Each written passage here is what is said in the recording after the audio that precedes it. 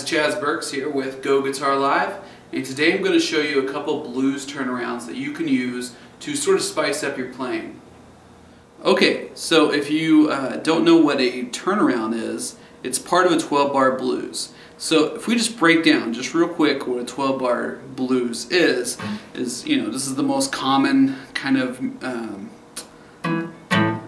blues you've ever heard. You, know, it's part of rock as well and country and everything else. Um, but what it is is let's say we're sticking in the key of A.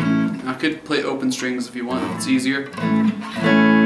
So I'm just going to stick. I'm going to do four measures of A. Um, and I'm just going to do them really fast so we can get through them.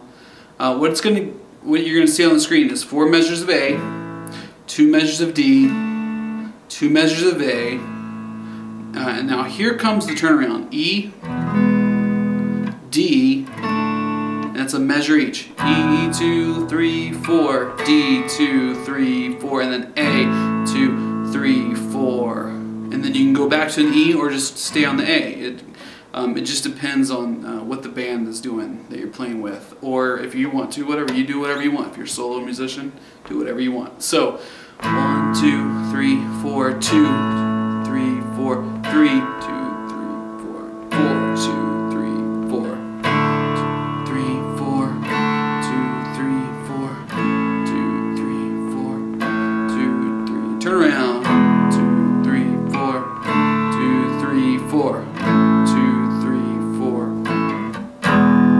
Okay, and then it just repeats over and over. Now you can do that with seventh chords and I have a couple videos that kind of spiced up a little bit. But you know, think about this one. You're rock and roll.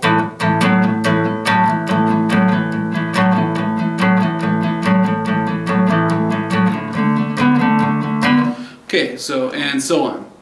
Um, you can use all these different forms, but they all kind of follow the same pattern: uh, four, two, two, one, one, um, four, and that's the amount of measures for each chord. So when we got to that E, this is our turnaround down to our D, and then we're to go back to our A. So what I'm to go over is the turnaround. And uh, I got, there's a couple videos online that you can get tons of good turnarounds from.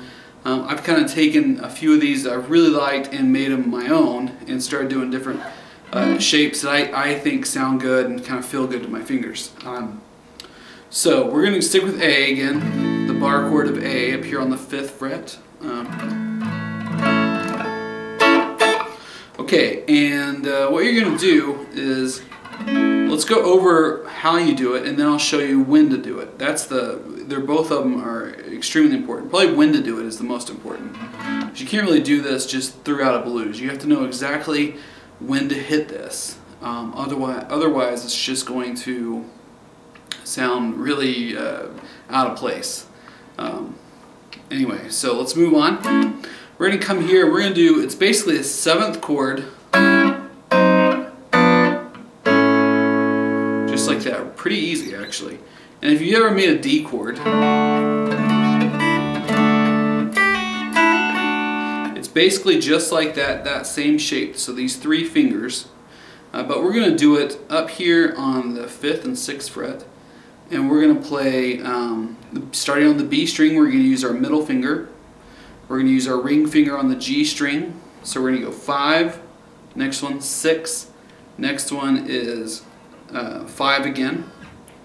So you have this kind of D, D shape up on the uh, 2nd, 3rd, and 4th strings. And we're going to strum that. And uh, we're just going to walk it down. And we're just going to do really basic. Half step down, same shape, half step down, and then we're going to do an A chord.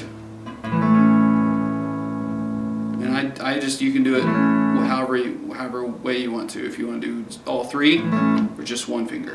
So.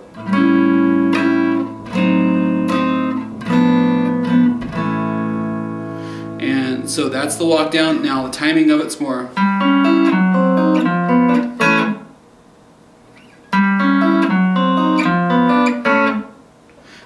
Next part is going to walk up from, this is a D note, on 5 on A, 5, 5th uh, string on the uh, uh, 5th fret on the A string, and you're just going to walk it up chromatic. Five, six, seven, same string. Now this one we're going to do a D. We're going to do an E7. And so what that means is we're going to put our uh, middle finger on the seventh, on the A string, seventh fret, and then we're going to go to a uh, sixth fret on the D string with our first finger, and with our ring finger, we're going to go seventh fret on the G string. So.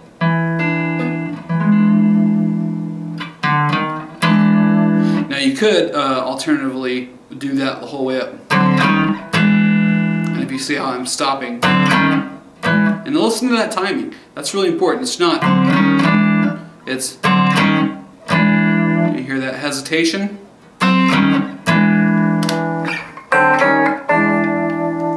So what we're going to do is we're going to take it from the top and we're to, I'm going to talk about the timing too, which is really important. Otherwise you won't be able to get it. Maybe you can, I don't know.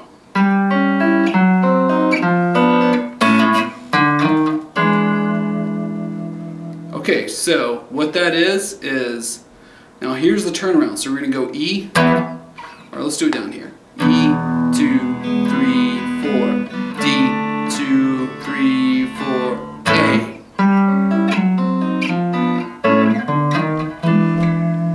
Okay, so I'm to hit my looper and I'm to do the same thing. Here we go. E, two, three, four, D, two, three, four, A. E, two, now I'm just to repeat it. D, three, four, A. Okay, so the last one was a little sloppy, but you get the idea. Either pick with your fingers or with your pick. I'm going down, down, up every time. And then just a good strum. Okay, now if you want to do it with your fingers, you can. Alright, now the next one is basically the same thing, but we're just going to go backwards. We're going to start here on the A, and so we're going to go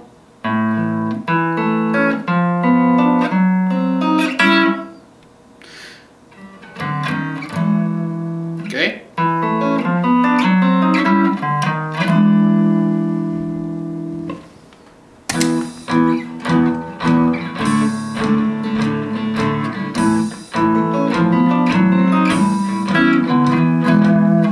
Now, if you watch the timing of this, this is the other really important thing, is that it's not right, it's not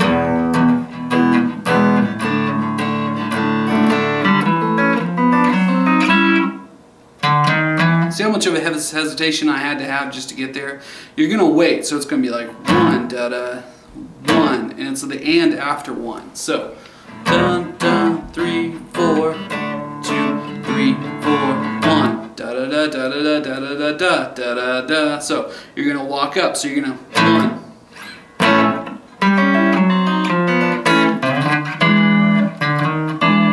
Okay, so you have to wait until play that one on the A, and then you can play it. And then you'll find it a lot easier in that rhythm.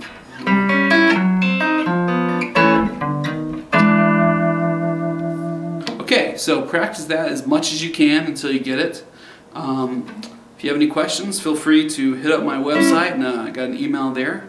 Also, I've got uh, I'm starting some more lessons on there that you won't find on uh, on YouTube. So, uh, hope to see you again. Thanks.